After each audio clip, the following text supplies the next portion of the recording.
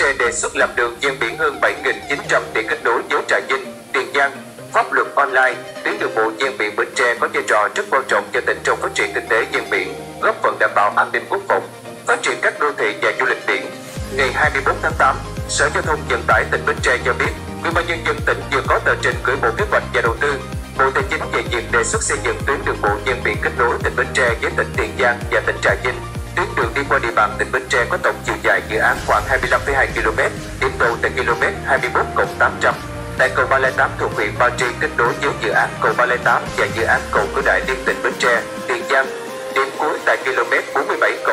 000 tại điểm đầu cầu Cổ Chiên, hai thuộc huyện thành phố kết nối với dự án cầu Cổ Chiên hai liên tỉnh Bến Tre, Trà Vinh, quy mô đường cấp 3 đồng bằng. Phần cầu, cầu Hàm Luông và các cầu nhỏ bê tông cốt thép rộng 22,5 m, tổng mức đầu tư dự án khoảng hơn 7.905 tỷ đồng. Nguồn vốn đầu tư từ khoản về hỗ trợ bệnh viện đồng bằng sông Cửu Long thích ứng biến đổi khí hậu, chương trình DDR và ngân sách tỉnh đối ứng. Ngoài ra dự án còn có ba cầu chính gồm cầu Ba Lai, cầu Cửa Đại và cầu Cổ Chiên. Các cầu này được tách thành ba dự án riêng. Trước đó, tháng 3 năm 2023, Ủy ban nhân dân tỉnh Bến Tre đã phê duyệt chủ trương đầu tư dự án xây dựng cầu 308 trên tuyến đường bộ ven biển tỉnh Bến Tre với tổng mức đầu tư 2.255 tỷ đồng. Trong đó vốn ngân sách trung ương hỗ trợ dự án có tính liên kết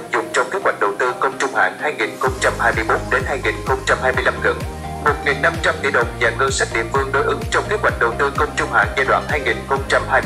2021-2025 hơn 755 triệu đồng. Đối với cầu Cửa Đại kết nối hai tỉnh Bến Tre, Tiền Giang có tổng chiều dài dự án khoảng 8,9 km, quy mô đường cấp 3 đồng bằng, cầu bê tông cốt thép rộng 22,5 m, tổng mức đầu tư dự kiến hơn 4.749 tỷ đồng, đề xuất đầu tư bằng nguồn vốn ngân sách trung ương. Cầu 2 kết nối hai tỉnh Bến Tre, Trà Vinh có tổng chiều dài dự án khoảng 4,72 km, quy mô đường cấp 3 đồng bằng, cầu bê tông cốt thép rộng 22,5 m, tổng mức đầu tư dự kiến hơn 3.145 tỷ đồng, đề xuất đầu tư bằng nguồn vốn ngân sách trung ương. Với Bến Tre, tuyến đường bộ ven biển khi hình thành đóng vai trò rất quan trọng cho tỉnh trong phát triển kinh tế ven biển, phát triển hệ thống cảng và giao thông vận tải đường biển, gắn kết với các cảng biển của vùng, đồng thời góp phần đảm bảo an ninh quốc phòng, phát triển các đô thị và du lịch biển.